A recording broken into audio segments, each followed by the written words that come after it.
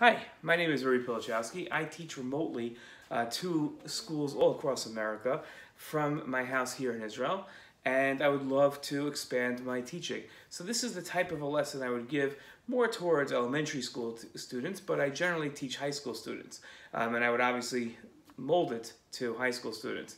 But there's a, a short video is what you asked for, and here we go. This is a map of Eretz.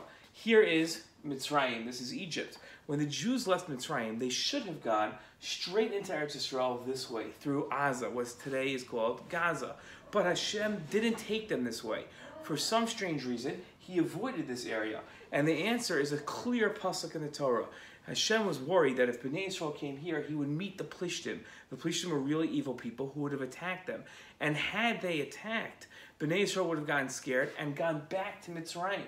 So Hashem didn't want to take them there. But then Hashem should have taken them straight through here, straight through the desert into the Negev. But Hashem didn't do that. He took them all the way down here where the sea split, then all the way up here past Yam the Dead Sea, all the way by Jordan, all the way here onto the Jordanian mountains, across from Eretz Yisrael, and then took them into Yericho. Why did he go all the way around there? Well, I happen to know the answer because I live right here in a place called Mitzpe Yericho.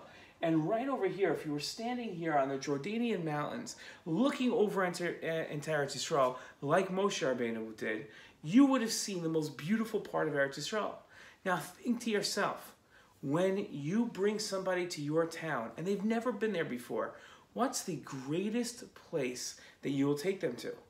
Well, it depends where you live but you take them to the most fun and exciting place to show off where you live. And that's what Hashem wanted to do. This was Hashem's land, Eretz Yisrael, and he wanted to show it to Bnei Yisrael, the best part. So he took them all the way across to the most beautiful part of Eretz Yisrael, across from Yericho, across from Emek HaYarden, the Jordan Valley. And that's where Hashem took them in, and then took them in, performed a nace right away in Yericho, and the rest is history. Shalom. Hope we'd be in touch.